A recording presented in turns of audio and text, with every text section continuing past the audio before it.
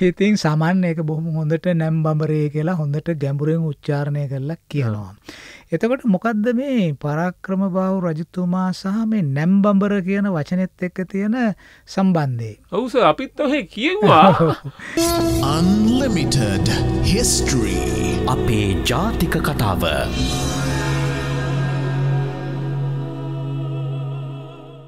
සරහන එකසිය තිස් දෙවැනි වැඩසරහනේ දෙවැනි කොටසත් එක්කයි මේ ඉන්න. ඉතින් අපි කලින් පළවෙනි කොටසේ කතා කරේ බොහෝ දෙනෙක් හලා තිබිච්ච ප්‍රශ්නකට උත්තරයක් අපේ පරාක්‍රම් බහු රජ්ජුරුවෝ බුරුමේ අලවුන් සේතු රජතුමත් එක්ක වෙච්ච අලි හුට පටේ අලිහින්ද ඇතික රගත්ත යුද්ධය මොකක්ද කියලා බොහෝ දෙනෙක් අහලා තිබ්බා. කුමාරිකාවක් හින්ද ඇති කරගත් යුද්ධය මොකක්ද කියලා හලා තිබ මහිතන්න පළවෙනි කොටස ඔබට නැරඹුවොත් අපේ YouTube නාලිකාවල තියෙනවා. ඉතිං ඔබට ගිල නැරඹුවොත් ඒ පිළිබඳ පිළිබඳව යමක් දැනගන්න පුළුවන්ගේ ඒකම අපි පහුගිය එකසිය තිස් එක්වනි වැඩසහනේ දමදන යුගේ පිළිබඳව මේ කොමත් මේ කාල අපි කතාබා කරන්න දම දමදන යුගේ පිළිබඳව. ති දමදන යුගේ කියලා කියන්නේ අපේ සිංහල සහිත්‍යයට කවිසිල්ලුමින වගේ ඉතාමත් ශ්‍රේෂ්ඨ ගන්ට පරාක්‍රම් බහු රජතුමා විසින් පිළින කරපු සාහිත් දමදනෙ කතිකා වගේ දේවල් සිද්ධ වෙච්ච ඉතාමත් විශිෂ්ට යුගයක් සාහිත්‍යය පැත්තෙන්. ඉතිං බොහෝ දෙනෙක් මේ පිළිබඳවත් කතා කරන්න කියලා කිව්වා. විශේෂයෙන් අපේ පාසල් දරුවන්ගේ පොත්වල දමදන යුගයේ සාහිත්‍ය දමදනයේ සාහිත්‍ය ප්‍රබෝධය ගැන සඳහන් කරලා තියෙනවා ඒකින් දස අපි දමදනි සාහිත්‍යය ගැන මංහිතන්නේ අද වැඩස්රාණය විශේෂ අවධානයක් යොමු කල්ලා කතා කරමු. අවස්ථාවසෝ දැන්ගේකට ඔව. ඉති ඇත්තෙම නුවන් මේ අපි සාහිත්‍යය ගැන කතා කරන්න ඕන. ඊට කලින් කිව යුතු දෙයක් තියෙනවා ඔබට මතක ඇති අපි දෙවනි පරක්‍රම බහු රජතුමා ගැන දීර්ඝ සාකච්ඡා කළා. එතකොට දෙවනි පරාක්‍රම බහු රජතුමාගේ ජීවිතය පදනම් කරගෙන චිත්‍රපටයක් හැදුනා දන්නවානේ නේද? එතකොට මේ සිරි පැරකුම්. සිරි පැරකුම්. අපේ සෝමරත් නිසායක නිසානායක මහත්මයාගේ බොහොම කලාත්මක කාව්‍යාත්මක චිත්‍රපටයක්. ඉතින් මේ මේ චිත්‍රපටියේ නැම් බඹරේ කියලා ගීතයක් තියෙනවා නේද? සමන්ල සමන් අනිවාරය රසකෙක් නිසා අපේ වැඩසරහනේ මේ වෙලා අනිවාරෙන් මේ ගැනත් අහගෙන ඇති. හිතින් සමන් එක බොහොම හොඳට නැම් බඹරේ කියලා හොඳට ගැඹුරෙන් උච්චාරණය කරලා කියනවා. එතකොට මොකක්ද මේ පරාක්‍රම බව රජතුමා සහ මේ නැම්බඹර කියන වචනෙත් එක්ක තියෙන සම්බන්ධය. ඔවුස අපිත් ඔහෙ කියවා ඒකස දැන් අරස හයිලයිට් පෙන් එකෙන් යම කයිලයිට් කරාවගේ කරපු හිද දැන් දැන්තම අපට මතක්ුණ ආයම එක කියනවා නේද කියලා. මං හිතුව හුඟක් දෙනා අප්‍රශ්නයක් නං අහලා තිබුණෙන් නෑ. නමුත් මේ අර මොකද අපිට ඔය මේ පර පැරකුම් රජතුමා ගැන කරපු චිත්‍රපටය ගැන මතක් වෙනකොටම මතක් වෙන්නේ අර මියුරු ගීත. සහේ මම රාජකුමාරයෙක් නෙවේ මං ගමේ කොල්ල කියන ඉතින් මේ ඒක කියනකොට දර නැම්බම්බරය කියන වචනය එනකොට ඒක චිත්‍රපටයත් ඒක කියවෙනවා නැම්බම්බර ජනිත අපට පුළුවන්න්න අර සිින්දෝ චුට්ටක් ගාම නැම්බම්බරේ මහකුඹුරේ තිය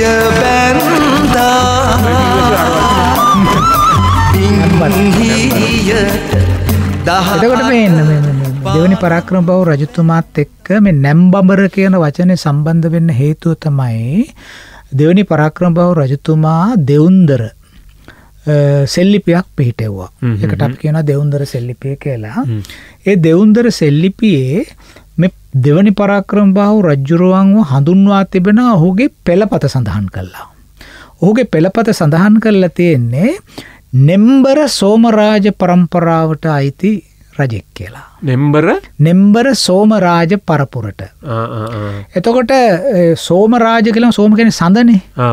එතකොට මේ නෙම්බර සෝමරාජය නෙම්බර කියන ප්‍රදේශයේ මේ චන්ද්‍රවන්සයට අයිති කෙනෙක් තමයි කියලා මේ දෙවනි පරක්‍රම බාහු කියලා කෙන අපි දන්න ඔහුගේ පියාටත් සිංහල වන්නේවරුන්ගේ සම්භවයක් තිබුණ තිබුණ.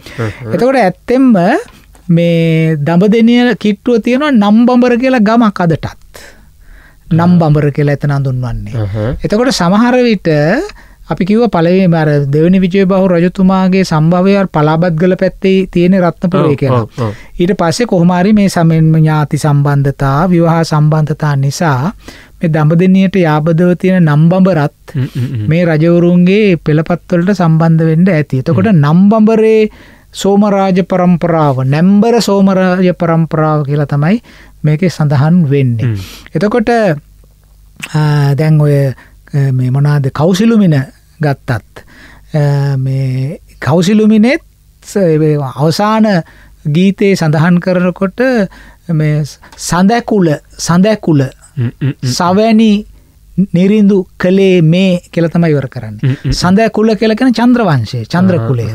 එතවට දෙවුන්දර ලිපියත් කියනවා මේ නැම්බර සෝමරාජ වන්සයෙන් තමයි දෙවනි පරාක්‍රම බහුරජ්ජුරු එන්න කියලා.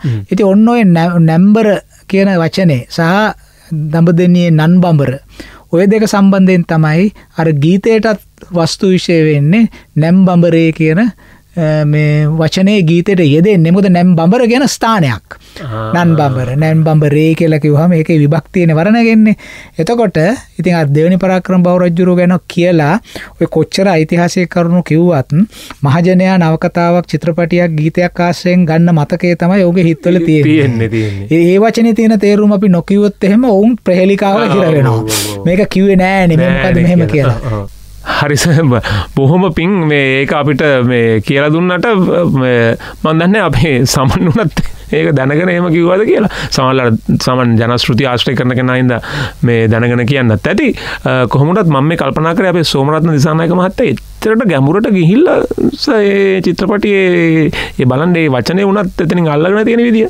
නෑ එක එක ඒ නිසා තමයි ලස්සන චිත්‍රපටය චිත්‍රපටයක්. එක මිනිස්සුන් ඒක දැන්ස ඕක අදහසත් සෝම කියලා කෑල්ලක් තියෙනවා සෝම රත්න නිසා ඔවු චන්ද්‍රවන්සේ ඉති ඇත්තෙම නුවන් මේකයි එකයන් තියන බලන්ඩ ඒ නියම ඉතිහාසය හාරාඋස්සලා කලාකෘතියකට ප්‍රවේශය ගන්නකොට බලට ගීතයට නැම්බම්බරේගෙන වචන කොච්චර ගැඹුරක් ලස්සනක් කෙනවාද කියලා නැම්බම්බරේ කියලා. එතකොට අපේ සමන්ගේ කටාණ්ඩයි ඒ වචන ගැඹුරයි. සංගීතයයි ඒක ඓතිහාසිකත්වයයි. ඒවා ඔක්කොම මිශ්‍ර වුණ හාම ඒ අහන් ඉන්න එක බලන ප්‍රේක්ෂකයට අහන ශ්‍රාවකයට මොනතරන් තමන්ගේ සංස්කෘතිය පිළිබඳ රූපකයක් ඒ වගේ ආවේශයක් ඒවට ලැබෙනවාද කියලා ඇති ඒ නිසා වගේ ඔය සිින්දුවල තියෙනවස යටි පෙළ. දැම්මට ොක්කිනොට මතක්වුණේ මේ දන්න මට ඔය කියනවට මතක්වුණේ මේ ඔය අපේ පණ්ඩි තමරදේවයන් කියන සිින්දුවත් තියෙන්නේ මඹරෙකු ආවයි නිරිත දිගේයා කියලා. ඇති අපේ ගොඩ දෙනෙක් ඔය සිින්දුව කිව්වට මේ ඔය නිරිත දිගෙම බම්බරාවේ කියලා අපි දන්න ඇස මේ අපි දවස කියලා දෙමු. දැන් අද ඕක කියන්න වෙලාව නෙමෙයි. අපි එක තමයි මේ හැම දේකම හුඟක් ගැන ඒ ගීත මහජනයන්ගේ සිත් සතන් තුළට කිඳා බැස්සයාර සංස්කෘතික මූලයක් ඒවට තියෙන නිසා. නියමාර්ථය දැනගත්ත නැති වුණත් එකනික අපේ වගේ අදහසක් මිනිස්සුට තේරෙනවා නේ? ඉතින් අපි ඒවගෙන හුඟක් කතා කරන්න ඕන. එතුර ඔබ මේ වටේ ආරම්භ කරනකොටම කිව වගේ දඹදනි සාහිත්‍ය දමදෙන යුගය ගැන කතා කරනව නම් දෙවැනි පරාක්‍රමබාහෝ කලිකාල සර්වඥ පණ්ඩිත පරක්‍රම බාහු කියලා අඳුන්වන ඒ විශිෂ්ට පාලකයා මේ කාලෙත් තුළ මම වෙලා මතක් කරන්න ඕන අපේ වැඩසටහන්ට නිරන්තරයම සවන් දෙන අපේ හිතවත් ඩැනිස්ට පෙරර වෛද්‍යතුමා මේ වැඩසටහන ගැන හුඟක් අපට අදහස් උදහස් සෙවනවා. ඩැනිස්ට මේ ළඟදිත් ලියල තිබුණා ලොකු දිග විස්තරයක් මේ දඹදනේ පරම්පරාව සහහි සාහිත්‍ය ප්‍රබෝධය ගැන අවධානය යොමු කළ යුතුයි කියලා ඩැනිස්ටගේ අදහසුත් එවලත් තිබුණා. ඉතින් අපි හැම වෙලාම ස්තුතිවන්තන ඩැනිස්ට. අවදියෙන් ඉන්න එක ගැන සමහට අපට අමතක වෙන අපට මගහැරිලා යන කරුණු තියෙනවා. ඔබ ඊට බොහොම තීක්ෂණ ලෙස සවන්දී ගැන ඒ අපට අමතක වෙනවත් අපි ඔබ මතක් කරලා දෙනවා. බොහොම ස්තුති නැවතවරක් මං එක කියන්න කැමති දිගටම අපිත් එක්ක ඉන්න එක අපට දහිරයක් ඔබ වගේ වෘතිකෙක් එහෙම පිත් එක්ක ඉන්න අපට වඩත් සන්තෝසයි ඉතින් ඇත්තෙම මේ දඹදනිය දේශපාලනික වශයෙන් අපි එක තියෙන වැදගත්කම පැහැදිි කළයි කාලේ. පල දෙවනි පරක්‍රම් බව රජතුමාගේ දේශපාලන කටයුතු ඒ කාලේ තිබිච්ච අන්තර්ජාතික වටපිටාවත් එක්ක අපේ අභ්‍යන්තර සමාජය ස්ථාවර කරගණ්ඩ එතුමා කරපු වැඩ කටයුතු වල තියෙන දීරවීර ගුණ සම්පන්න බුද්ධි සම්පන්න භාවය ගැන අපි පෙන්නල දුන්න. ඉතින් ඊට ඇරුණට පස්සේ එතුමා විසින් කරපු අනිත් ප්‍රධානතම කාරය තමයි බුද්ධ ශාසනය ධර්මය සහ රටේ සාහිත්‍ය දියුණු කිරීම සඳහා අනුග්‍රහය ලබා දීම. තර අපි දන්න රජ්ජුරු රටේ තනි රජ වෙලා හිටියේ නෑ එක පැත්තකින් චන්ද්‍රභානුගේ ආක්‍රමණ තිබුණා එක පැත්තකින් පාණ්ඩය ආක්‍රමණ තිබුණා එක පැත්තකින් මාගගේ ආක්‍රමණ තිබුණා මේ වගේ නොයකුත් අභියෝගකාරී තත්ත්ව තිබියදී පවා මේ රටේ සමෘද්ධිමත් දීප්තිමත් සාහිත්‍ය ප්‍රබෝධයක් ඇති කරන්න ඒ රජ්ජුරුව ගත්ත උත්සාහය අපි අගේ කරලා කතා කරන්නටේ කාටත් පැහැදිලි මොකද අපි අද සාහිත්‍ය ඉතිහාසය කතා කරන්නකොට දඹදින යුගය කියලා වෙනමම යුගයක් හැටියට අරගෙන කතා කරනවා. ඉති ඇත්තෙම නුවන් මේ මේ වගේ දෙයක් කතා කරන්න ඕන මේ සිංහල සාහිත්‍යය සිංහල සාහිත්‍ය ඉතිහාසය රසාස්වාදනය පිළිබඳ ප්‍රාමාණික බුද්ධිමතෙක් තමයි මේ සාහිත්‍ය යුග ගැන කතා කරන්න ඕන. නමුත් අපි ඒ තරම් ගැඹුරට මේක කතා කරන්නේ නැහැ. නමුත් අපි තා කෙටියෙන් මේ සාහිත්‍ය යුගයේ තිබෙන වැදගත්කම හා එවැනි සාහිත්‍ය යුගයක් හැටියට හඳුනාගන්න පුළුවන් කාල පරිච්චේදයක් නිර්මාණය වෙන්නේ කොහොමද කියන එක ගැන ඒ පසුබිම් පැහැදිලි කිරීම මං හිතනවා අපේ වැඩසටානය අත්‍යවශ්‍ය කාරණයක් කියලා. දැන් ඔය දෙවනි පරක්‍රම බව රජතුමාගේ කාලය වෙනකොට අපි දන්නවා මාග කාලිංග මාග මේ අල්ලගෙන හිටිය පොළොන්නරුව ඉති ඔහුගේ ඔහුගේ සේනාවන් ඔහුට පක්ෂපාතිී බටපිරිස් ඔහුට පක්ෂපාතය හිටපු නොයෙක් කණ්ඩායන් මේ අපේ සමාජයේ සමාජය කඩාබිදදාන්ඩ අවශ්‍ය කරන හුඟාක් ජාතික් කලා ඇත්තෙම මේ කාරණය අපේ හිතවත් දැනිස්ටත් ලේලවල තිබුණා. මේ සමහර තැන්වල තියෙනවා මේ වැදගත් පොත්පත් ලනුවලින් මුදා විසුරුවා දැම්මයි කියලා. වරකුත් කිව්ව කිව්වා. පුස්කොල පොත්. එතර වැදගත් පොත්පත් කියල කරන්නේ ඒ සමාජයේ පවත්වාගෙන යන්න අවශ්‍ය කරන දැනුම සංග්‍රහ කල්ලා පිතිබිච්ච පොත්පත්වෙන්ට ඕන. එතන කියන්නේන හැම පොත්පත්ම විනාස කරයි කියලා. වැදගත් පොත්පත්වල ලනු ගලවා පත්තිරු විසුරුවා දැම්මයි කියලා. එතකොට මේ දැ සමාජයක් ගෙනියන්ට දැනුම අවශ්‍යයින. හරි දැනුමෙන් තොරව සමාජයක් ගෙනියන්ට බෑති දැ මේ නමුත් සමහරය හිතනවා දැනුමෙන් තොරව සමාජයක් ගෙනියන්ට පුළුවන් කියලානේ සමහරු අහනවානේ මේ මේ ආශ්වාස කරන්න තින වායුව මොකටද කියලත් අහනවානේ. දෙහම අපපු වෙලාවල් තියෙනවල නේද? ඉතින් එහෙම නෙමෙයි. දැනුම අවශ්‍යයි. දැනුම තමයි සමාජයක් ඉදිරියට ගෙනනිච්චේ ලෝකයේ මේ තුරන් තුරට ඇවිල්ල තියෙන දැනුම පාදක කරෙන අද අද ලෝකයේ දැනුම පදනම් කරගත්ත ලෝකයකට අපි ප්‍රවේශවෙමින් ඉන්නේ. ඉති ඒ නිසා ඒ කාලෙත් දැනුමට ලොකු ගෞරවයක් තිබුණා. ඉතින් අර පොත්පත් වල පත්තිරු ලනුගලවල විසිරව්ව පමණක් නෙමෙයි. ඔය මාගගේ විස්තරය ගැන කියනකොට අපි මේක දැ මේ වෙලාව හැදිලි කරන්න මේක නැවත කියපු දෙවල් කියන්න ඕන නිසා නෙමේ අපි මේ කියන්නේ ඇයි මේ කාලේ සාහිත්‍ය ප්‍රබෝධයක් ඇතිවෙන මේ තරම් මේ වටේම ගිනි අරගෙන.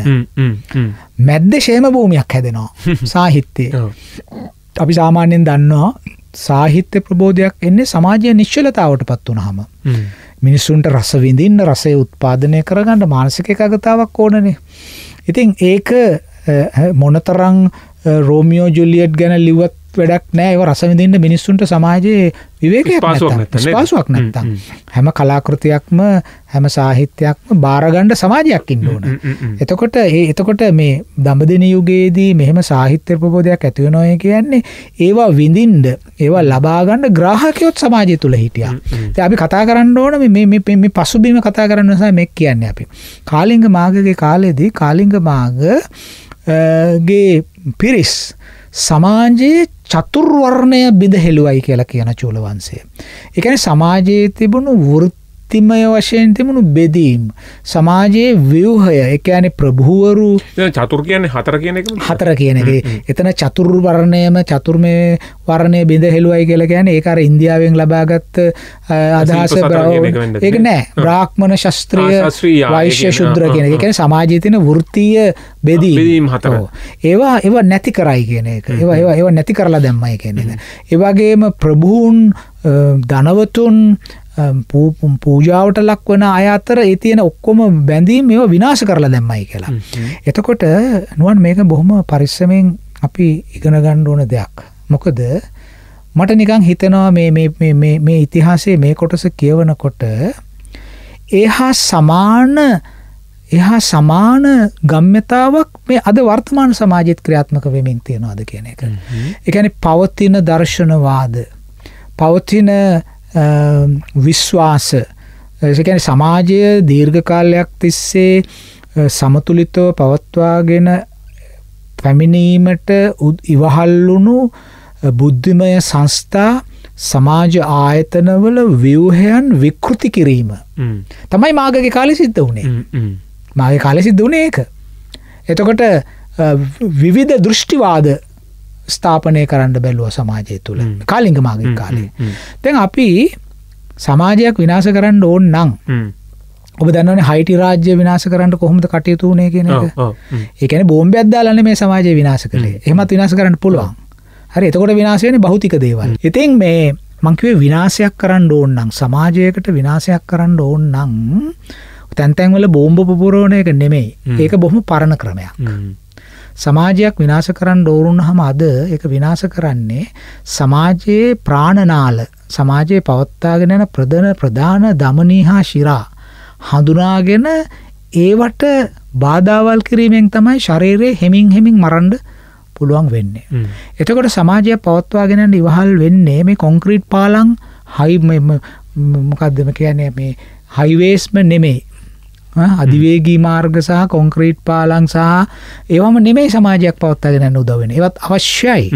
නමුත් සමාජයක් පවත්වාගෙන යන්ඩ සමාජ ආයතන කියලා ජාතියක් තියෙනවා. සමාජය ඇතුළත. සමහර විට සදාචාර පිළිගැනීම් කෙන සමාජායතනයක් වෙන්න පුළුවන්. ඒම නැත්ත විශේෂම පිළිගැන් විශ්වාස. විශ්වාස කියන ඒවා සමහර සමාජය දුවන්න විශ්වාසවලින් ඔබ ඔබ ඉන්දයානු සමාජය ගණ්ඩ කොච්චර විශ්වාසයන් මත දුව කොච්චර විශ්වාසයන් මත දුවන කොච්චර විශ්වාස පද්ධතින් තියෙනද ඒ විශ්වාස මගින් ඒ සමාජයේ පවත්වාගෙන ඒවා හරිද වැරදිද විද්‍යාත්මකද ප්‍රග්මැටික්ද රියලිස්ටික්ද? ඒක ඒක කල්ගත වෙනකොටස ඒක හරිද වැරදිද කියල ඒ සමාජය විසින්ම ඒ ක්‍රමය වෙනස් කල්ලා සංක්‍රමණික සමාජයක් බවට පත්වෙනවානේ සමාජය තමයි ස්විනිශ්චයකට එළඹෙන්නේ. සමාජය පවත්වාගෙන යාමට මේක අවශ්‍යද නැද්දගෙන කාරණය තීරණය කරන්න. එනිසා අපි මතක තබා ගත යුතුයි විශ්වාස මගින් සමාජයට විශාල කාර්යභාරයක් ඉෂ්ට කරනවා. එතකොට සමාජයක් බිඳවට්ටන්ඩ ඔන්නම්. අර සමතුලිත සමාජයක් තුළ තියෙන අර සමාජ සංස්ථා. විශ්වාස පද්ධති වෙන්ඩ පුළුවන්. සමාජ සංස්ථාකම සංකේර ආර්ථිකයට අධ්‍යාපනයට නොෙක් නොෙක් දෙවලට අයිති සමාජ සංස්ථා තියෙනවා. ඒ සමම මේ සමාජ සංස්ථාගෙන වචන පාච්චි කරනට සෝෂල් ඉන්ස්ටිටියෂන්ස් කියන වචන වෙනුවට. කෙනෙක් හිතන පල සංස්ථාකිවගහම මේ නීතිගත සංස්ථාවගේ වද කලහෙම වන්නේ මේ සමාජය පවත්වාගෙන අන්ඩ ුවමනා කරන දේවල් අපේ තිය නො පිළිගැනීම වෙන්න පුළුවන් ඇගයුම් පද්ධති වෙන්න පුළුවන්. ඒවා. ඒ සමාජය බිඳවට්ටනනම් කරන්න ඕන මොකක්ද මේ ගෙතිල තියෙන මේ දැල. ඒව එක එක පුරුක් කැඩුහම ඒ දැල උඩ තියෙනදේ බිමට වැටෙනවානේ. ඉතින් කාලිංගමාගගේ කාලෙත් කාලිංගමාග කළේ අර චතුර්වර්ණය බිඳ හෙළුවා. වෙන වෙන දර්ශනවාද ස්ථාපනය කරා. වැදගත් පොත්පත් විනාස කලා ඒව කියවගණ්ඩ බැරිවෙන්ඩ ව්‍යාකූලතාවට පත් කරා. එතකොට ප්‍රභූන් ධනවතුන් බුද්ධිමතුන්ට අඩත් ඒට්ටං කරා. ඔවුන්ට හිංසා කලා හරි? මෙමගේ දේවල් කරනට කොහොඳ සමාජය පවතන සමාජය කඩාවටන තර මාග බැලුවේ මේක හරි උපක්‍රමශීලි. මොකද දෙවනි පරාක්‍රම බාහුත් එක්ක යුද්ධකට යනවට වඩා ලාබදායි ලෙස මේ වැඩේ කරගෙන යන්න පුළුවන්. ඉතින් බලන්ඩ ඔබ ඉතා සියුම්ම විමර්ශනාත්මකෝ මේක විග්‍රහ කරන්න උත්සාහ ගත්තතේ ඔබට තේරෙයි මේ කාලිංගමාගගේ කාලෙ තිබිච්ච තත්ත්වයම ටහ සමාන තත්ත්වයක්. අද මේ සමාජය තුළත් නිර්මාණය වෙමින් තිබෙන මේ සමාජයේ තියෙන නොයෙක් සංස්ථාවන් සමාජය දීර්ඝ කාලයක් තිස්සේ පවත්වාගෙනෙන්ට ඉවහල් වුණු සමාජ සංස්ථාවන් ඇගයුම් පද්ධතීන් ඒවල් ලෝකේ වෙනස් වෙන්න ඕන. ඒ ලෝක වෙනස් වෙන එක ඒක ඒක ප්‍රවර්තන ශීලී කියලා අපි කියන්නේ. එක ට්‍රන්ස්ෆෝමටිව් ඒවා ප්‍රවර්තනශීලී ලෙසයි වෙනස් වෙන්න ඕන. එහෙම නැතුව එක සමාජය තීරණය කරන්නේ සමාජයක ඇගයුමක් වෙනස් කරන්න ඕන්නං. ඒ ඇගයුම වෙනස් කරන්න ඕනේ කියන ස්විනිශ්ෂයට එළඹෙන්නේ සමාජය මගින් ඒක පුද්ගලයකුට ආයතන දෙපාර්තුමේන්තුවකට තීරණය කරන්න පුළුවන් දෙයක් නෙමේ ඒක සමාජ ඉතිහාසය පරීක්ෂා කර ලබලන ඕනම කෙනෙකුට තේරෙනවා.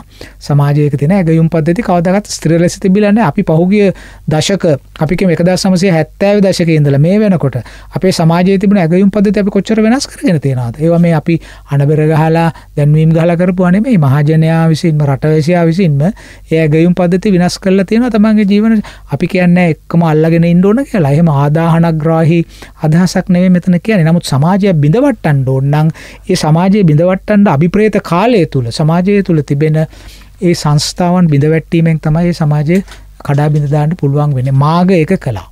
එතකොට ඔන්න ඔය පසුබිමක තමයි දෙවනි පරක්‍රම පහු රජතුමා මේ සාහිත්‍ය ප්‍රබෝධය කියන එක ඇතිකිරීමට අවශ්‍ය කරන මූල බීජ වපුරන්නේ. එතකොට රජතුමා දැනගත්තා මේ සමාජය මෙහෙම කඩාබිඳ දානකොට මම ඊට ප්‍රතිවිරෝධී පුනරජීවයක් සමාජය තුළ ඇති කරන්න ඕන කියන.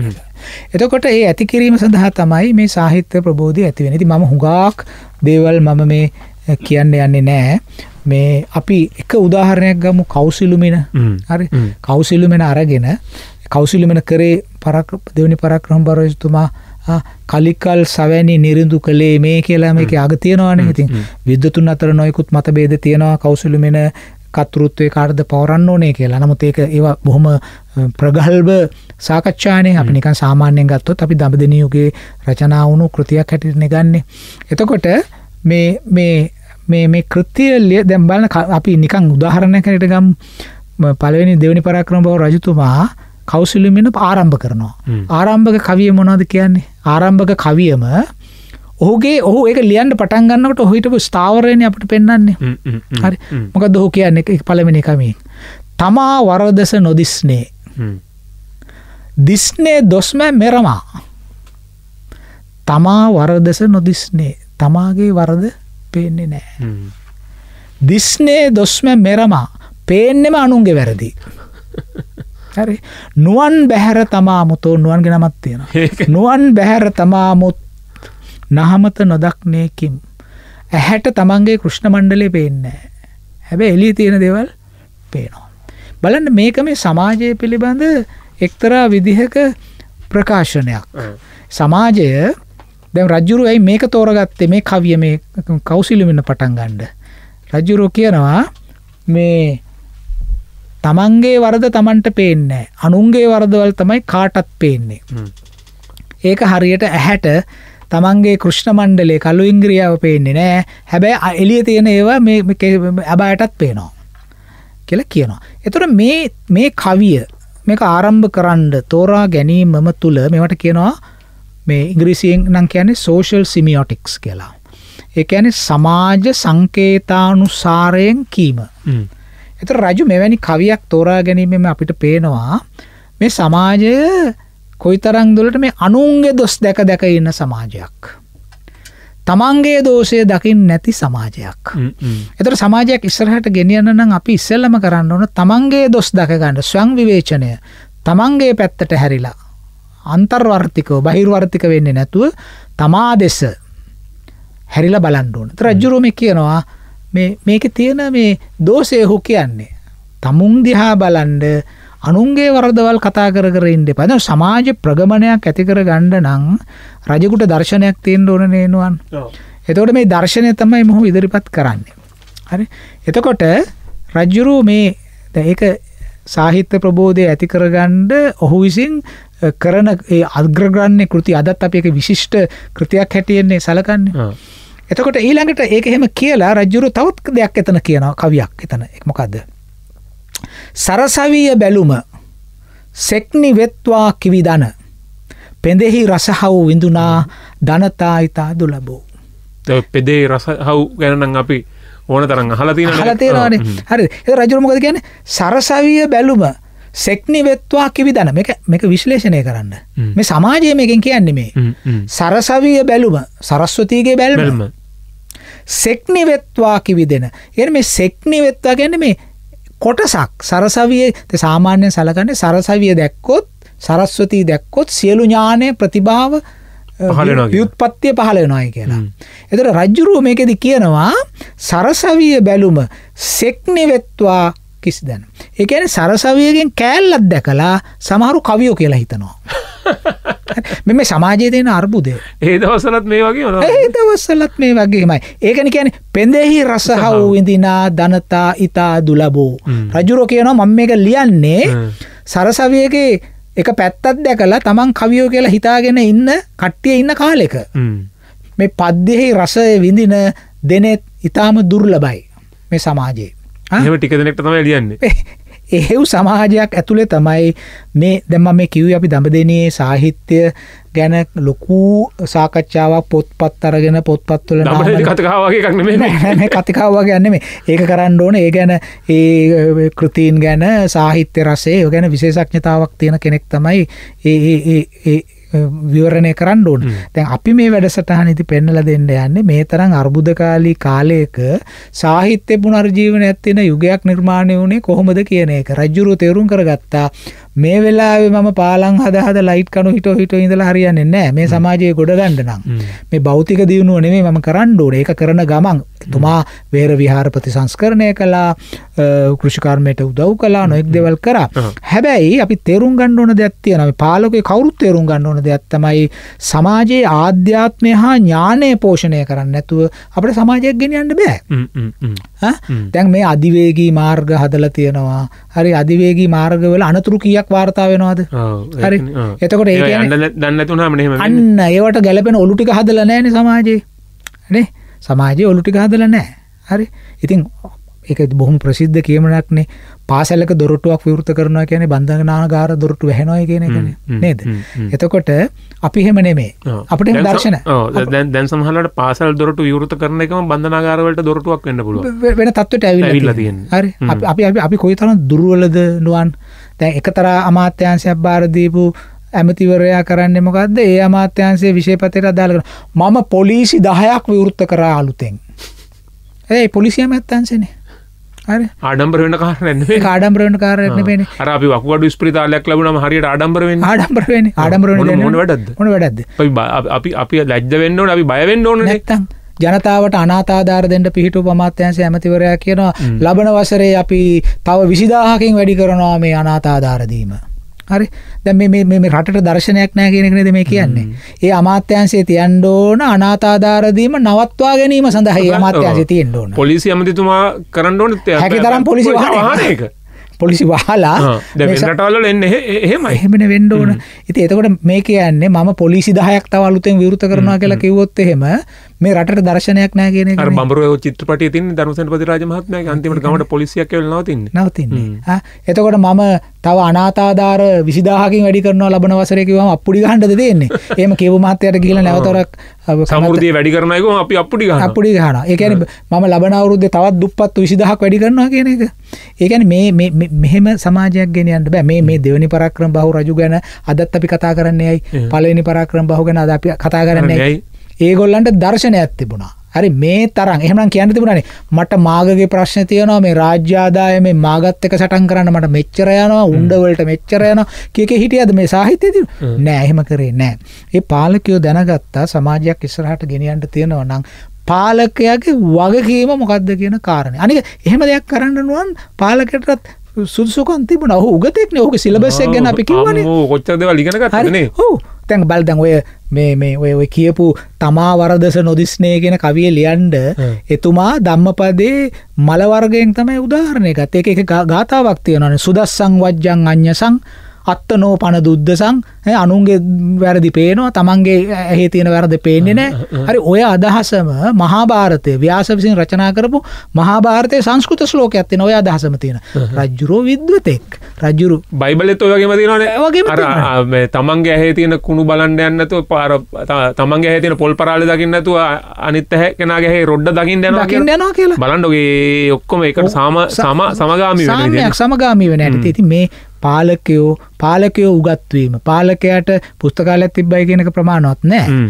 පාලකයා පුස්තකාල තියෙන දෙවල් අරගෙන සමාජයට ආදේශ කරන්න ඕන. දර්ශනයක් නිර්මාණය කරන්න ඕන. සමාජයක් ගෙනියන්න පුළුවන් ඒ විදිහට මහජනතාවත්තත් ස්කෝල වැඩිපුර විවෘත කරන්න ඕන. පොලිසි හදල නෙමේ හරියන්න. පොලිසිය පොලිසියක් අලුතෙන් දානවය ගැන අපේ පරාජයක්. ඔව්. අපේ පරාජයක්. එකන සමාජය හික්මවා ගණ්ඩ අපට පුළුවන්කමක් නෑ. නේ. ඉති එනිසා මේ අපි ඉතිහාසය ගනගත යුත්තේ මේ දර්ශනය ඉස්සරාට ගෙනියන්ඩ ඒ නිසා නුවන් අපි විරාමයක් ගන්න ඔව් හරි. අපි එහෙනම් ඊළඟ විරාමෙන් පස්සයන් අපිට විරාමයක් දෙන්න. ඔබට පුළුවන් ඒ අතරතුර අපිට කතා කරන්න. අපිට අපේ නෙත් FM YouTube නාලිකාවේ මේ වැඩසරහන යනකොට YouTube වැඩසරහන් පල්ලහැන් කමෙන්ට් විදිහට ඔබට පුළුවන් මේකට ප්‍රතිචාර දක්වන්න. ඉතින් අපි විරාමයක් කරන්න නැවතත් වැඩසරහන එක්ක සම්බන්ධයනවා ඊළං කොටසට පුළුවන් මෙතනින් යන්න